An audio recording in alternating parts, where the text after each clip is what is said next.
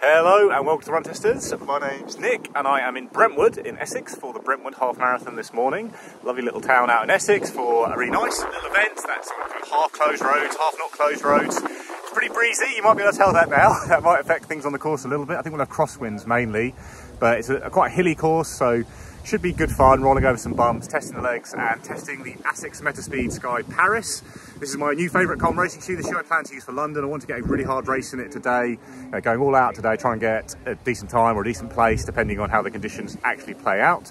So, so we start with a nice big downhill, we've got a few lumps and bumps along the way and then an uphill to finish and yeah, don't really know what the field will be like today. It's one of those kind of events you turn up and see and they've already run someone very quick so I'm going to stick to him for a little bit but probably not for too long.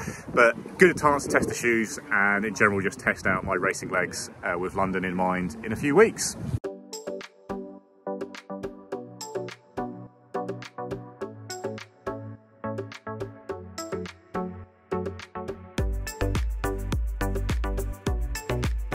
I'm all done, just on the cool down now. I had a great day out there, ran 70 30, bang on. Um, really pleased with that. It was a breezy course, running solo most of the way. Everyone was kind of running solo and big old hill in the last mile that um, I knew was coming. So I knew I was on pace for about for a sub 70 at like 10 miles. About, and then 11 miles, but I knew uh, I was going to be dropping off that quite a lot. So kicked it in, really nice time, really ran really well, and the shoes were yeah, fantastic. I've been loving these shoes from the moment we started testing them. I think they're absolutely amazing. I feel like I'm going to use them at London. And what I really got today from them was that kind of locked in cruisy speed on the rare kind of flat sections where I was just running smoothly that felt very in control, very what I get from like the Alpha and the Vaporfly times. You can lock into a speed really well. But then what these shoes have is that lightness, so you can then punch up a hill, well, to the extent, not, not, not last hill, I wasn't really punching up that at all, but on any hill you can, you can move a bit faster, you can accelerate. If you're to race someone, you can put on a little spurt to try and gap them, and it's just got all that lightness and really nice turnover.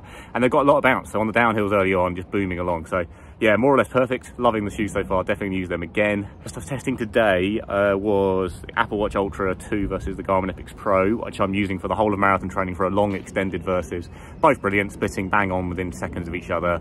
You know, GPS and country lanes is pretty easy, and they were both excelled on that front. So uh, yeah, no concerns at all about the watches yeah, so all this gear is going to kind of turn out again in uh, in London, and it was all really good today. But I will have a little bit more to think and checking more about the Metaspeed Sky later. But what I'm going to do quickly now is is calling my friend Jack, who ran in the Vaporfly 3, which we haven't talked about a lot on the channel lately. And I want Jack to give a quick review of the Vaporfly 3 over half marathon.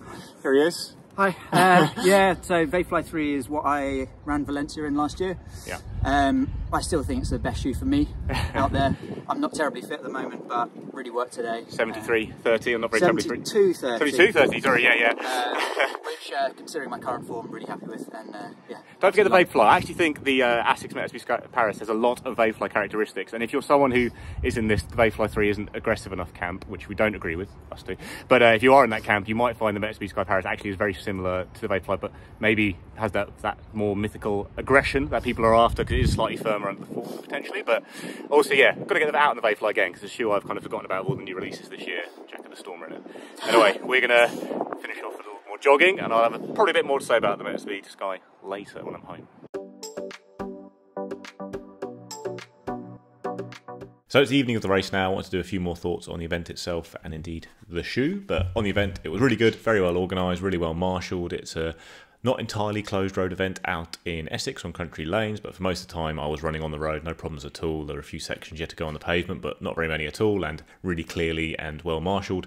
Very strong field today. I was sixth today, and there were some really quick times up top. So yeah, that was great. Didn't necessarily manage to result in lots of groups because I was a bit off the front groups. I was running by myself a fair bit, but there were some really fast people out there, you know, proving that you can run good times. And what was a pretty hilly course overall. I think we had about 150 meters of elevation in total with that big hill to finish. Obviously, got the corresponding big hill down at the start, which was obviously great at the, early on in the race. But yeah, big hill to finish is always tough. I was I was only actually seven seconds off a PB in the end, and that's a much better run than I've done for my two faster half marathons. So my PB is at Edinburgh half, which is a big downhill, and you don't really have to come back up. So it's a bit of a cheeky one. And then I've gone two seconds slower than that at the big half in London, which is that was a good time. That was a 70-25, so 70-30 today on a hilly course.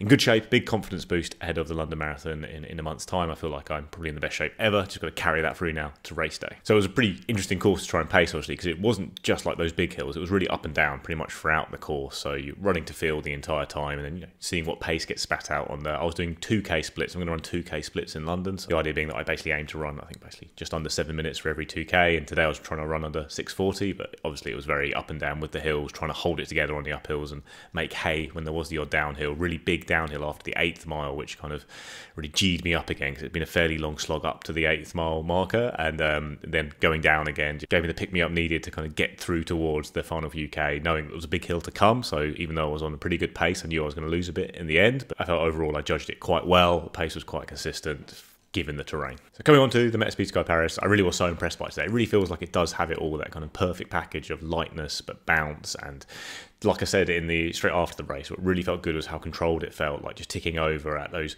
kind of paces that you want to hold for long distances. So perfect for a marathon shoe, which obviously I really look for, which I've always really found with the Alphafly in particular. It just helps you get into rhythm and just hold that. And today wasn't really a rhythm race; it was very up and down and that kind of thing, which the shoe really excels at because it's so light. But actually, when there was those times to put into a good rhythm, it felt very good in the shoe. And actually, even though I was running hard and I know I'm in good shape, generally when the pace came up for my like 2k splits, when I glanced down, I was a little bit surprised that I was running a bit quicker probably than I thought I was. And throughout the race, that's a really good sign. Like even churning up that last hill, obviously I wasn't looking at the time at all at that point. I was just trying to get through the last hill and then came down and I was surprised to turn a corner and see that I was going to be finishing you know, in 70 something and 70 30 obviously was a pretty good time for me. So yeah, shoe definitely delivers in terms of performance, but also just feel like really comfortable throughout the run today. No forefoot discomfort at all, which I sometimes can get when running hard over that kind of distance. Just yeah, comfortable, springy, propulsive. Another big tick in the Ataspeed Metaspeed Sky Paris box. Every run I've done in it, I've really enjoyed. I've also actually been quite impressed by the durability so far because I've now done 125k in the shoe. The only real sign of any kind of wear and tear is actually on the uh, yellow section on the other shoe. Actually, oh no, it's here as well. Yeah, just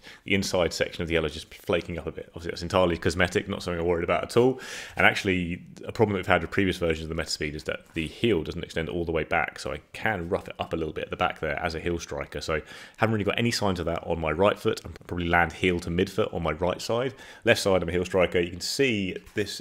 This is my left shoe. You can see I have you know scuffed up a little bit, and I imagine that will start to wear a bit more at the back there, but it's not been as noticeable as it was with the earlier Metaspeeds. Same time, even when I did rough those up quite a lot, it didn't affect performance in any way, but it's something to look out for because obviously the rubber does stop just short of the back of the shoe there. And then yeah, go through the other stuff I tested. So like I said, I had the Apple Watch Ultra 2, Garmin Epix Pro on my wrist. The Apple Watch ended up reading like, you know 100 meters longer, but I just had a look at the GPS trace. It really is very close, and which of those is more accurate? You know, because the Garmin had the distance more or less perfect for a half marathon, but actually you probably don't run the perfect distance on a half marathon like that on country lanes so maybe the apple is more accurate but really they're both very accurate were really helpful. If i was going to use it for pacing today which i didn't really that much but you certainly got decent pace splits every time to know roughly what you were losing on the uphills gaining on the downhills. So yeah all really good on that front. The polar h10 heart rate monitor i was using had a little moment on the run. It just dropped very for a very short period. I think it was about the 19th or 20th k when I was actually working the hardest I'd been the whole race, and it dropped down very low, but that came back up. Nothing to worry about there. Otherwise, yeah, the gear was all good. Had glasses on, Ciele hat, yeah. In general, everything performed as hoped, and yeah, really good day out. And Metaspeed Sky Paris brilliant shoe, really good event, Brentwood Half Marathon, really fun event out in uh, Essex. So one to look out for next year.